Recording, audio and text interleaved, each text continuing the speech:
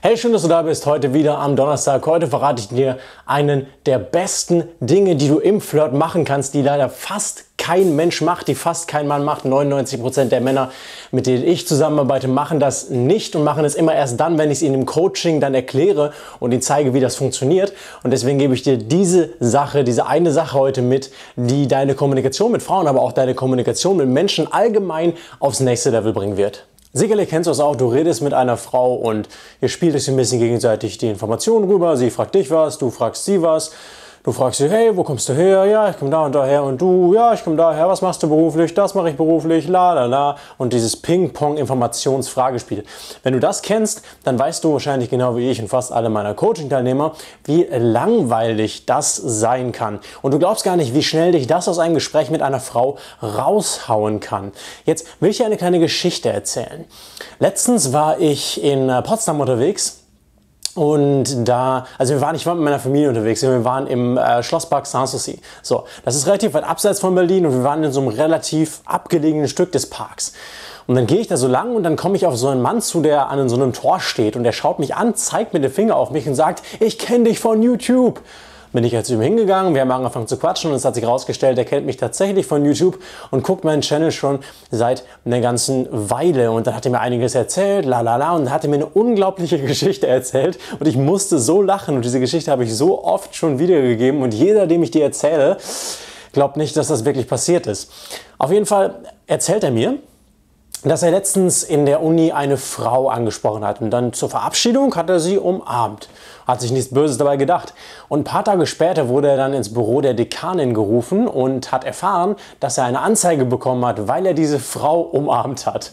Und die Dekanin meinte, man müsste sein Verhalten mal ganz besonders überdenken, was denn da los sei mit ihm. So äh, unglaublich, das habe ich noch nie gehört, dass ein Mann eine Frau umarmt hat, einfach so ganz normal umarmt und dann eine Anzeige bekommen hat. So, das hat er mir erzählt und ich stand dann da und musste mega lachen. Und dann hat er sein lustiges Taschenbuch ausgepackt und ich weiß nicht, vielleicht kennt ihr das noch, diese Bücher, diese Mickey Maus-Bücher, diese ganz alten. So, der packt das so aus und ich denke mir, was macht er jetzt mit diesem Buch? Und dann hält es mir hin und sagt mir, kannst du mir ein Autogramm da reingeben? Und ich so, ich musste lachen, war so, okay, ja, klar. Und dann habe ich so ein Autogramm in sein lustiges Taschenbuch geschrieben und dann nimmt er den Stift und schreibt noch so das Datum drunter, so wie bei so einem richtigen Super-Promi, so ich, der YouTube-Typ mit 2000 Abonnenten, wie bei so einem Super-Promi, schreibt er da so das Datum noch drunter, so um das mal vielleicht irgendwann mal Ebay verkaufen zu können, wenn ich dann ganz berühmt geworden bin. Und äh, das war eine der witzigsten Fanbegegnungen überhaupt. Aber diese Geschichte, dass jemand eine Frau umarmt hat und dann eine Anzeige bekommen hat, ich habe so gelacht, das habe ich noch nie gehört. Und immer wenn ich das weiter erzähle, niemand glaubt mir, dass das wirklich so passiert ist. Oder die Leute fragen immer, was hat er denn gemacht? Wie hat er die denn umarmt? Und ich so, ja, ich weiß auch nicht, was da passiert ist. Warum habe ich jetzt diese Geschichte erzählt? Ich habe diese Geschichte erzählt, weil ich dir mit der Geschichte zeigen wollte, was ich die ganze Zeit meine. Fass oder beziehungsweise das, was die Männer nicht machen im Gespräch, das, was Männer einfach nicht nutzen, sind Geschichten. Deine Gespräche sind deswegen so langweilig und kommen nicht zum Ergebnis, weil du sehr viel Ping-Pong mit Informationen spielst wahrscheinlich. Ja, du tauschst Informationen aus, es ist ein nettes Gespräch, aber es ist auch so ein Gespräch, das könnte diese Frau mit jedem führen. Ja, du musst Folgendes verstehen. Die Frau, wenn du sie kennenlernst, hast du in ihren Augen erstmal keinen weiteren Wert. Außer du siehst so, also du siehst gut aus und sie findet dich gut aussehend, du bist ihr Typ, dann hast du erstmal Wert. Ansonsten hast du bei einer fremden Frau erstmal ja keinen Wert, weil die weiß ja nichts über dich. Du könntest Bill Gates sein, du könntest eine milliardenschwere Firma haben, du könntest einer der beliebtesten Typen in der ganzen Stadt sein. Wenn sie dich nicht kennt, dann weiß sie das alles nicht. Und obwohl das alles für dich spielen würde, wenn sie es wüsste, weiß sie es einfach zu dem Zeitpunkt noch nicht. Das heißt, am Anfang des Gesprächs mit einer fremden Frau oder einer fremden Person allgemein geht es überhaupt erstmal darum, Wert zu zeigen und ihr zu zeigen, warum sie denn mit dir reden sollte oder warum du denn ein cooler Typ bist. Und eine der besten und einfachsten Dinge, um das zu machen und auch der spannendsten Dinge, ist Geschichten erzählen. Weil natürlich willst du der Frau nicht sagen, hey, guck mal, ich habe eine Million Euro oder schau mal meinen Lamborghini da draußen, sondern du willst all diese positiven Dinge subtil vermitteln. Und das kannst du am besten mit Geschichten. Also ein paar der Gründe, warum Geschichten eine der besten Flirtmethoden oder Flirttaktiken ist, die es überhaupt gibt, ist, dass durch Geschichten lernen wir. Ja, früher schon in der Steinzeit Gebrüder Grimm, Märchen. Wir hören Geschichten und durch die Geschichten lernen wir etwas. In diesen Geschichten sind Informationen enthalten, die wir subtil, also unterschwellig aufnehmen.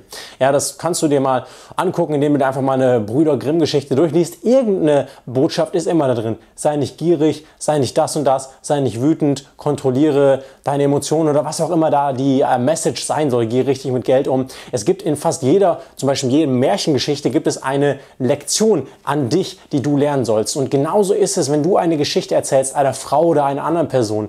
Diese andere Person wird zuhören und erstmal ist es ja interessant, weil jeder hört gerne Geschichten, vor allem hört jeder gerne gut erzählte und spannende Geschichten. Und zusätzlich kannst du noch deine Persönlichkeit durch diese Geschichte vermitteln und zwar ganz unterschwellig und subtil. Und deswegen sind Geschichten so ein wertvolles und mächtiges Werkzeug, das du auf jeden Fall in jeder Konversation, aber auch speziell im Flirt benutzen solltest. Deine Gespräche werden interessanter werden. Die, deine Gespräche werden mehr Informationen haben, mit denen du arbeiten kannst. Denn wenn du eine spannende Geschichte erzählst, dann kann man immer, von der Geschichte kann man immer auf irgendein anderes Thema überleiten. Ja? In jeder Geschichte ist irgendwas dabei, von dem man überleiten kann. Zum Beispiel die Geschichte, die ich dir gerade erzählt habe. Da sind einige Fragen offen geblieben. Warum kannte der Typ mich von YouTube? Was mache ich auf YouTube? Ähm, was genau ist passiert? Warum wurde er angezeigt? Was ist vielleicht danach mit der Frau passiert?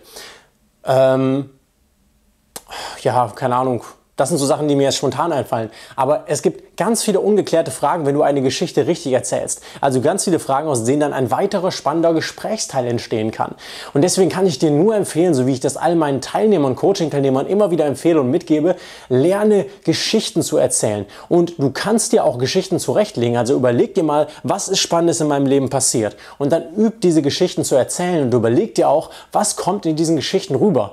Ähm, ein guter Kumpel von mir, der super erfolgreich mit Frauen ist, der hatte Mal immer so drei, vier Geschichten, die er erzählt hat. Und also drei, vier lustige Geschichten, die er erzählt hat, die hat er fast auf jedem Date erzählt und die haben wunderbar funktioniert. Dabei, und das ist das Tolle, muss die Geschichte nicht mal von dir kommen. Es kann auch sein, dass du eine Geschichte von jemand anderem erzählst, den du kennst.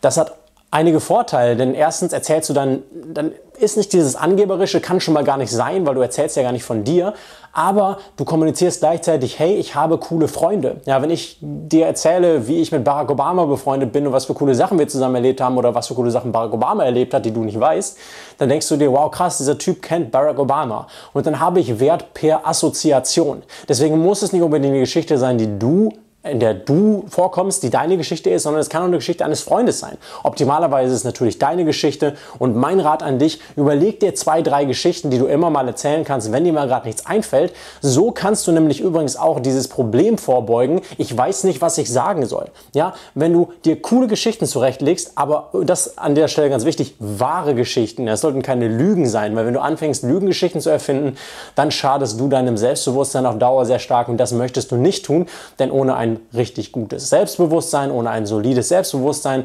werden deine Erfolge bei Frauen in den Keller gehen. Das heißt, du sabotierst dich nur selbst, wenn du anfängst, Lügengeschichten zu erzählen. Deswegen erzähl Geschichten, die wahr sind.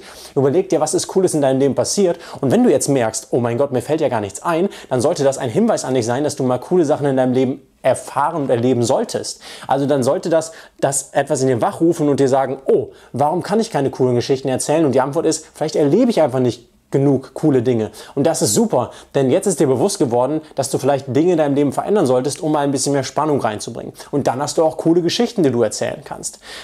Genauso wie Geschichten funktionieren übrigens auch Meinungen.